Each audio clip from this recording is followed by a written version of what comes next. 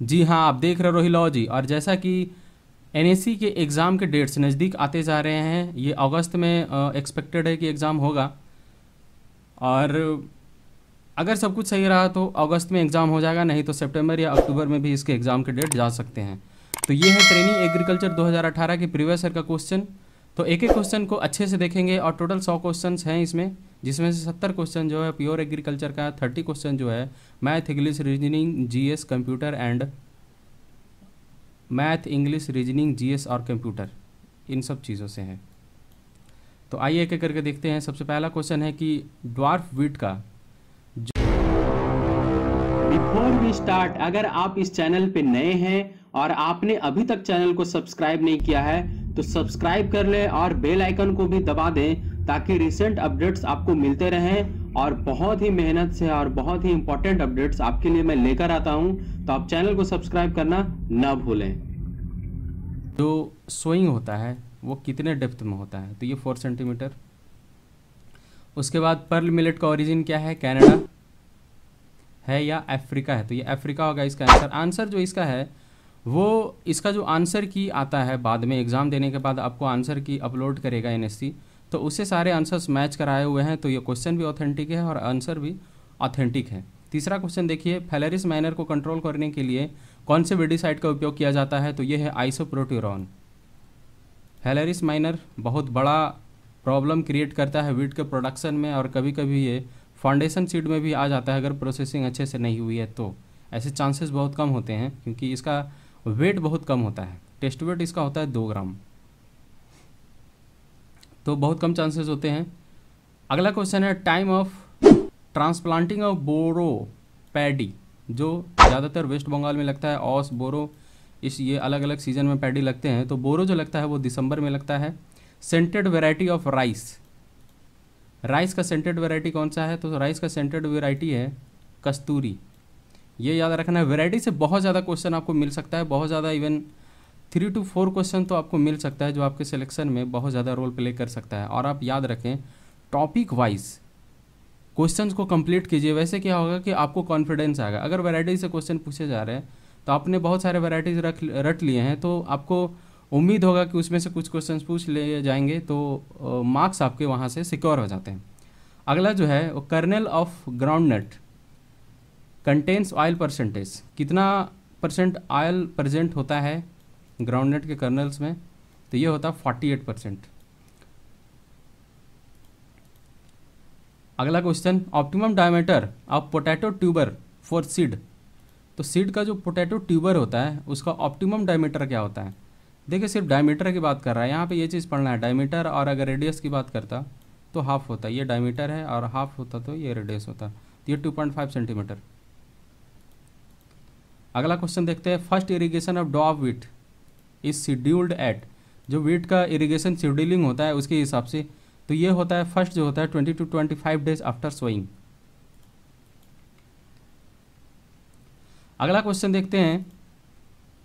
Which of the following nutrients is beneficial but not essential to plants beneficial तो है but essential नहीं है। ये बहुत ही कॉमन क्वेश्चन है और मैक्सिमम जगह पे ये पूछ दिया जाता है। तो इसका आंसर होता है सोडियम सोडियम बेनिफिशियल है बट एसेंशियल नहीं है।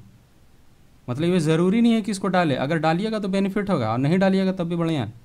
Plant nutrient increasing disease resistant in plants is कौन सा होगा? तो ये होगा पोटेशियम डिज़ीज़ रेजिस्टेंस को क्रिएट करता है। इसीलिए पोटेशियम की आवश्यकता पड़ती है और डालते हैं हम लोग। अगला क्वेश्चन देखते हैं। Soil structure appropriate for crop production crop production के लिए कौन सा सॉइल स्ट्रक्चर अप्रोप्रिएट होता है? ये भी इंपॉर्टेंट क्वेश्चन है। आपको ट्रेनिंग एग्रीकल्चर का जो क्वेश्चंस मिलेगा, वो ओवरऑल एग्रीकल्चर से मिलेगा। कोई भी सेक्शन को नहीं छोड़ता है। चाहे वो सॉइल साइंस हो एक्सटेंशन हो एग्रोनॉमी हो हॉर्टिकल्चर हो, सारे से क्वेश्चंस आपको मिलेंगे। कुछ कुछ क्वेश्चन ज़रूर मिलेंगे हर एक सब्जेक्ट से। तो इसलिए सारे सब्जेक्ट को अच्छे से पढ़ें। और मैं मैं बार बार बता रहा हूँ कि नेमराज सुंडा को आप बिल्कुल पढ़ें। अगर आप ट्रेनिंग एजी का एग्ज़ाम दे रहे हैं तो। नेमराज सुंडा पक्का रट लें। चलिए तो इसके लिए होता है granular suitable day temperature for growth of main rabi crops rabi का जो मेन क्रॉप्स होते हैं, उसका सुटेबल टेम्परेचर क्या होता है? सत्ताईस से उनतीस डिग्री सेल्सियस। और रबी का सोइंग टाइम क्या होता है? October to November October to November even Bihar में दिसंबर तक भी लगाए जाते हैं वीट ऐसे वीट का जो सोइंग डेट है वो fifteen October to fifteen November है. सुटेबल जैसे जैसे एक एक दिन डिले होगा यील्ड घटते जाता है. चलिए आगे देखते हैं. Essential micronutrients is essential micronutrient कौन सा है? देखिए पोटेशियम कैल्शियम सल्फ़र मैंगनीज तो मैंगनीज होगा सही आंसर इसका। अगला क्वेश्चन देखते हैं। Form of zinc absorb by plants देख लीजिए सॉइल साइंस का क्वेश्चन आपको दिख रहा है। तो ये होता है जिंक आयरन डबल प्लस उसके बाद symbiotic bacteria is symbiotic bacteria कौन सा है? तो ये है राइजोबियम उसके बाद green green manure crop providing maximum nitrogen मतलब ग्रीन मैन्योर जो हम लोग लगाते हैं, जैसे ढैंचा है ये सब जो लगाते हैं, उसमें से सबसे मैक्सिमम नाइट्रोजन कौन प्रोवाइड करता है? ये करता है सनई। ये आपको याद रखना है।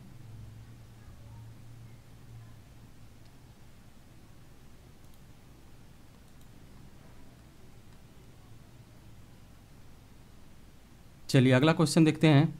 Material use to control acidity in decomposition of compost is मतलब कंपोस्ट के डिकम्पोजिशन में कौन सा मटेरियल यूज़ करते हैं एसिडिटी कंट्रोल करने के लिए? तो ये यूज़ करते हैं हम लोग लाइम लाइम डाला जाता है।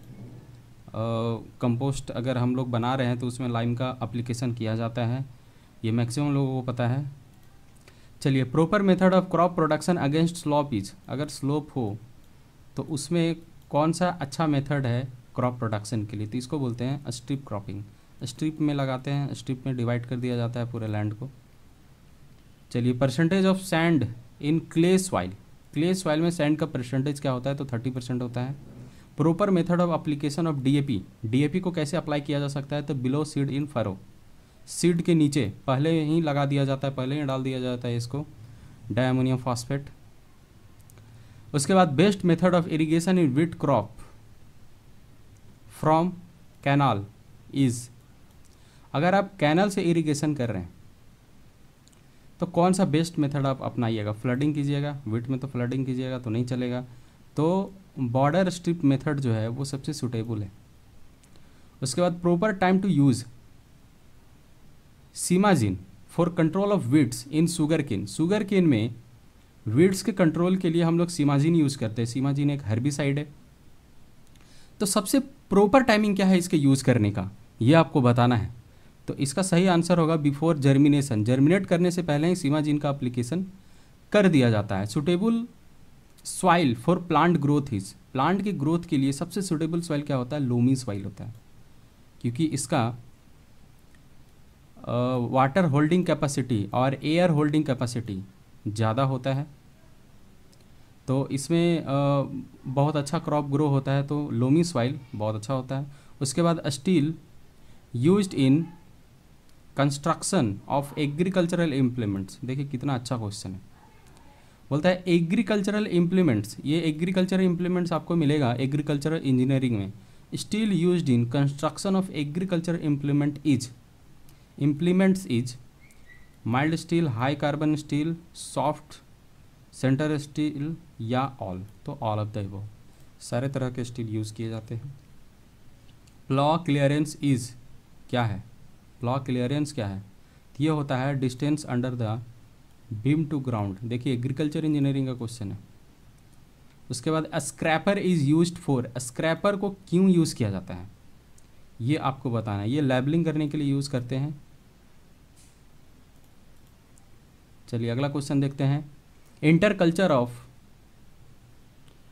crops is done for किस लिए किया जाता है? क्रॉप्स का इंटरकल्चर क्यों किया जाता है? एरेशन ऑफ़ सॉइल के लिए, अब रूटिंग ऑफ़ ग्रासेस के लिए कंजर्वेशन तो इसका सही आंसर होगा all of the above that is all of this चलिए, अगला क्वेश्चन देखते हैं। अगला क्वेश्चन है Sahiwal cow has which one body coat colour among the following देखिए, ये जो है, ये वेटनरी का क्वेश्चन है। तो साहिवाल काव का कौन सा कलर होता है? तो ये होता है रेड। ये आपको याद रखना है। उसके बाद, breeding tract of Jamunapari goat, in which one of the following is in which of the following. ये क्वेश्चन है इसका। तो ब्रीडिंग ट्रैक्ट बताना है, इसको बोलते हैं चकेर नगर। ये चकेर नगर में है। अगला क्वेश्चन देखते हैं। Which one is an exotic breed of sheep sheep का एग्जॉटिक ब्रीड कौन सा है? ये सब इंडिजिनस है। गद्दी है, बीकानेरी है, बीकानेरी राजस्थान में मिलता है। तो ये मेरिनो जो है, वो एग्जॉटिक है। अगला क्वेश्चन देखते हैं। Edible part of knolkhol. Knolkhol का एडिबल पार्ट कौन सा है? तो यह है मॉडिफाइड स्टेम इसका मॉडिफाइड स्टेम हम लोग खाते हैं। Seed rate of main season onion per hectare. Onion का सीड रेट क्या है पर हेक्टेयर? ये आपको बताना है। तो ये इसका सही आंसर होगा। पाँच से सात के पर हेक्टेयर है।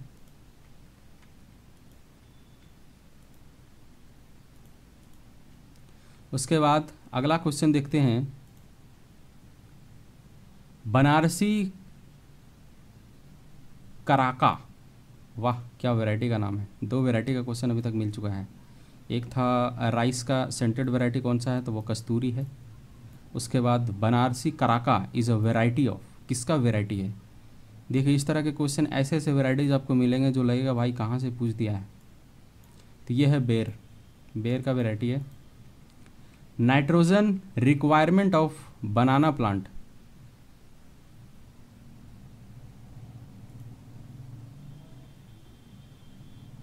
Banana plant के लिए नाइट्रोजन की क्या रिक्वायरमेंट है? ये आपको बताना है। उसके बाद अगला जो क्वेश्चन है, वो है nitrogen requirement of banana plant banana, बनाने के लिए नाइट्रोजन की कितनी रिक्वायरमेंट पड़ती है? तो एक बनाना लगाने के लिए नाइट्रोजन की कितनी रिक्वायरमेंट है? मतलब नाइट्रोजन की रिक्वायरमेंट पर प्लांट बनाने के लिए तो ये है 200 ग्राम। उसके बाद Arka Harit is a variety of bitter gourd ये बहुत ही ट्रिकी क्वेश्चन था। ये इवन बहुत लोगों को लटका सकता है, क्योंकि bitter gourd bottle gourd sponge gourd musk melon ये सारे ऐसे ऑप्शंस हैं कि आप कंफ्यूज हो सकते हैं। तो ये बिटर गॉड करेला का वैरायटी है अर्का हरीत। अर्का मतलब I I H R Indian Institute of Horticulture Research Bangalore उसके बाद छत्तीसवां क्वेश्चन देखते हैं। Banana sweet is a variety of देखिए नाम ऐसा रखा है कि आ, कोई मीठे फ्रूट वगैरह का वेराइटी होगा। मोस्ट प्रोबेबली आदमी को लगेगा कि बनाना का है मगर ये चिली का वैरायटी है। तो अभी तक आपने देखा चार से पाँच क्वेश्चन आपको मिल गया वैरायटी का। उसके बाद अगला क्वेश्चन देखते हैं। Musk melon in north India is sown in north India में मस्क मेलन की कब सोइंग होती है? ये होते हैं फरवरी, मार्च में। नॉर्थ इंडिया, ऊपर चले जाइएगा। दिल्ली, यूपी, ये सब जगह पे बोला जा रहा है कि मस्क मेलन का जो खेती है वो कब होता है? तो ये होता है फरवरी, मार्च में। Seed rate of bottle gourd for summer crop. Summer crop के लिए मतलब बॉटल क्या है कि हमेशा हर एक सीज़न में लगता है। तो समर क्रॉप के लिए बॉटल गॉड का सीड रेट क्या है? तो ये है चार से पाँच के जी पर हेक्टेयर। अगर आपको ये चीज़ याद नहीं रखना है तो हमेशा आप सीड रेट याद रखिए। वो ऑलमोस्ट वही होता है। तो चार से पाँच के जी होता है प्रति हेक्टेयर अगला देखते हैं फैमिली ऑफ़ कैरेट देखिए बड़ा इंपॉर्टेंट क्वेश्चन है। तो इसका सही आंसर क्या होगा? कैरेट का जो फैमिली होता है, अम्बेली फैरी होती है। चालीसवां क्वेश्चन देखते हैं। The average yield of turnip per hectare जो सलजम होता है, उसका पर हेक्टेयर यील्ड कितना है? ये आपको बताना है। तो इसका सही आंसर होगा डेढ़ सौ से ढाई सौ क्विंटल। Option to. उसके बाद अगला क्वेश्चन देखते हैं। Serious damage due to the shoot and fruit borer is in. मतलब सूट एंड फ्रूट बोरर से सबसे सीरियस डैमेज किसमें होता है? बहुत कॉमन है। ब्रिंजल में बहुत ज़्यादा अटैक होता है फ्रूट बोरर का, सूट बोरर का, हद से ज़्यादा अटैक होता है। तो ये एकदम कॉमन क्वेश्चन है। कॉलीफ्लावर ओरिजिनेटेड इन ओरिजिन क्या है?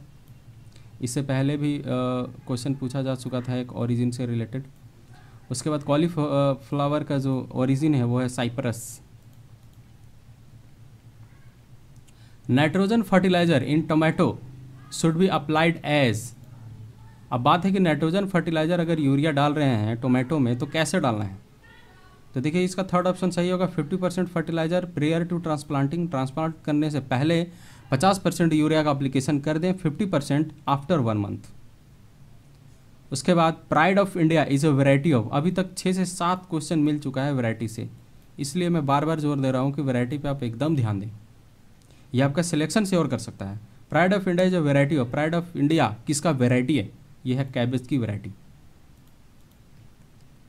उसके बाद बॉटनिकली लीची फ्रूट इज़ अ क्या है, पोम है, ड्रूप है, बेरी है तो ये नट है। कालमे की जो वेराइटी ऑफ़ कालमे किसकी वेराइटी है तो ये स्वीट पोटैटो की वेराइटी है। ऐसे कालमेक एक मेडिसिनल प्लांट भी आता है। Excretory material of insect is अब ये देखिए बायोलॉजी का क्वेश्चन है इलेवन ट्वेल्थ की बायोलॉजी आपको थोड़ा याद होना चाहिए। तो uric acid uric acid excreta होता है, उसका ऐसे तो ये इंटोमोलॉजी का क्वेश्चन दिख रहा है। उसके बाद लिगामेंट ज्वाइंट्स ये देखिए प्योर बायोलॉजी का क्वेश्चन है।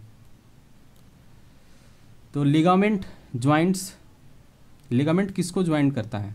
तो बोन टू बोन को ज्वाइन करता है लिगामेंट उसके बाद सिल्वर फ़िश इज़ क्या है? सिल्वर फ़िश क्या है? मलस्क है फ़िश है क्रस्टेशियन है तो ये एक इंसेक्ट है, ये कॉमन क्वेश्चन है। उसके बाद the main enzyme present in gastric juices, gastric juice में ये भी बायोलॉजी का क्वेश्चन है। आपको डाइजेस्टिव सिस्टम से क्वेश्चन ये दिख रहा है तो ये है पेप्सिन इसका सही आंसर उसके बाद अगला क्वेश्चन देखते हैं। विच इज़ मिसमैच्ड तो इसमें से कौन सा मिसमैच्ड है? तो हेमिप्टेरा टर्माइट टर्माइट जो है हेमिप्टेरा से बिलोंग नहीं करता है तो ये सही आंसर होगा इसका option two which is which of the following is not warm blooded animal बाकी सब कोल्ड ब्लडेड होंगे मतलब बुलबुल जो है कोल्ड ब्लडेड है राइट जो है कोल्ड ब्लडेड है, कंगारू जो है कोल्ड ब्लडेड है वार्म ब्लडेड जो होता है, वो होता है स्नेक उसके बाद Brunner's gland are situated in the देखिए एकदम बायोलॉजी का क्वेश्चन मिलेगा आपको एन का एलेवन ट्वेल्थ का बायोलॉजी भी पढ़ लें, और जिसकी अच्छी है वो तो बेनिफिट में रहेगा. तो ये कहाँ पे मिलता है? ये मिलता है ड्यूडेनम में। उसके बाद which of the following does not possess red blood इनमें से किसके पास रेड ब्लड नहीं होता है? अर्थवॉर्म के पास होता है? फ़िश के पास होता है? स्नेक के पास होता है? तो कॉकरेज के पास रेड ब्लड नहीं होता है। मेडिकल का तो बहुत ही फ़ेमस क्वेश्चन है। उसके बाद which animal does not possess four chambered heart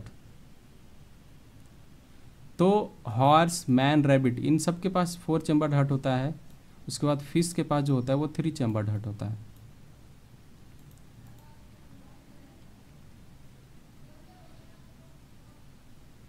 चलिए अगला क्वेश्चन देखते हैं। In Haber's process for the manufacture of ammonia the catalyst use is कौन सा कैटलिस्ट यूज़ होता है? तो इसमें कैटलिस्ट यूज़ होता है finely divided finely divided iron इसका यूज़ किया जाता है। फाइनली डिवाइडेड आयरन का यूज़ किया जाता है। ऑप्शन टू होगा इसका सही answer the formula of gypsum he gypsum का फार्मूला क्या है? ये इजी क्वेश्चन है. Calcium sulphate that is C S O four two H two O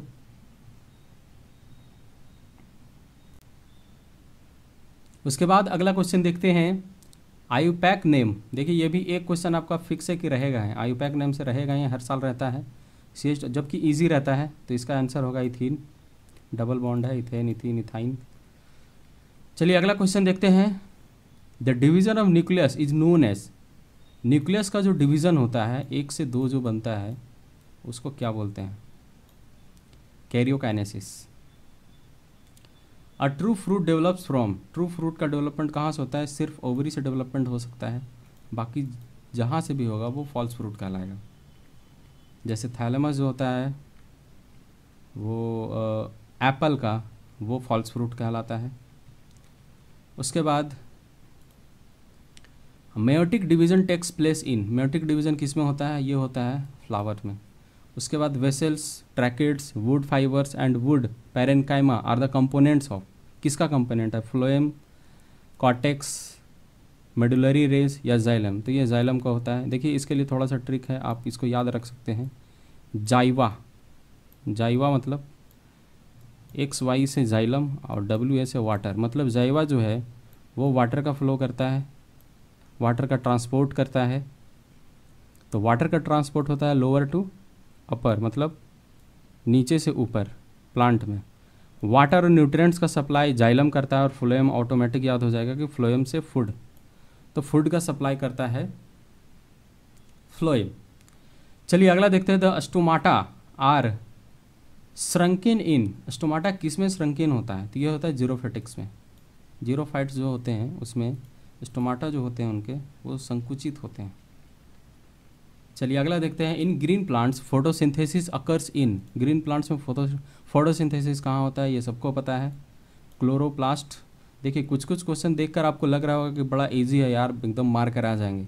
मगर आप विश्वास कीजिए कट ऑफ़ जाता है सेवेंटी फाइव आपके मार्क्स या तो सेवेंटी टू आएँगे, या सेवेंटी थ्री आएँगे, या सेवेंटी फोर आएँगे, या सिक्सटी नाइन आएँगे, या sixty nine point four five आएँगे, या seventy two point two five आएँगे, इसके आसपास रहेंगे। आप श्योर रहिए। तो इसमें से आपको लगेगा कि मैक्सिमम क्वेश्चन हमको आता है। बट सिलेक्शन यहीं में डिसाइड होगा कि अगर आप पचहत्तर से आगे कितना मार्क कराते हैं, ये इंपॉर्टेंट रहता है। तो इस बार एट्टी लेकर चलें। चलिए, अगला क्वेश्चन देखते हैं। विच इज़ क्वेश्चन क्या है? Which one is a short day plant तो tomato pepper sunflower soybean soybean जो होता है वो शॉर्ट डे प्लांट होता है और टोमेटो जो है वो ज़ीरो डे प्लांट होता है। चलिए edible part of coconut coconut का एडिबल पार्ट क्या है? तो इसका एडिबल पार्ट है एंडोस्पम उसके बाद when xylem and cambium are present on both sides of xylem the vascular bundle is called as bicollateral अगला क्वेश्चन देखते हैं। Name the family of watermelon watermelon का फैमिली क्या होता है? वाटरमेलन का फैमिली होता है कुकर बिटासी उसके बाद अगला क्वेश्चन देखते हैं। Oryza sativa is the botanical name of Oryza sativa किसका बॉटनिकल नेम है? बहुत कॉमन क्वेश्चन है। राइस का है। उसके बाद the nitrogen fixed fixing bacterium is कौन सा है? एजेटोबैक्टर है। ये याद रखना है। तो ये थे सत्तर क्वेश्चन एग्रीकल्चर से रिलेटेड अब हम लोग पहुँच चुके हैं सेक्शन बी में। सेक्शन बी का बहुत ज़्यादा पोर्शन मैं डिस्कस नहीं करूँगा। इवन ना के बराबर डिस्कस करूँगा। इसका सेक्शनल डिस्कशन मैं अलग अलग कर दे रहा हूँ। अगर आप मेरी वीडियोज़ नहीं देखें कंप्यूटर का अगर आप वीडियोज़ देखिएगा तो इसमें से कंप्यूटर का क्वेश्चन मैंने वहाँ पर कवर किया है। जो प्रीवियस वर्क का क्वेश्चन उसमें मिलेगा आपको। उसके बाद इसके जो जीएस के क्वेश्चन वो मैं अलग से एक सेक्शन में कवर करूँगा। इंग्लिश का भी प्रीवियस ईयर का क्वेश्चन सारा मिलाकर चालीस से पचास कवर करूँगा। तो वैसे अगर आप सेक्शनल वाइज देखिएगा तो ये थर्टी क्वेश्चन जो है, आपके वहाँ पे कंप्लीट हो जाएँगे। और अगर आपको मेरी इस वीडियो की पीडीएफ चाहिए, या ये पूरा जो क्वेश्चन है प्रीवियस ईयर का, इसका अगर आपको पीडीएफ चाहिए तो आप रोहिलॉजी को ज्वाइन कर लें टेलीग्राम पे। टेलीग्राम में सीधा टाइप करें, रोहिलॉजी, आपको मेरा चैनल दिखेगा, उसमें लोगो लगा हुआ होगा और येलो बैकग्राउंड होगा। तो ये था आज का पूरा वीडियो और जी जान से मेहनत कीजिए, जब तक सिलेक्शन नहीं हो जाता है, पीछे छोड़ना नहीं है। Thanks for today bye bye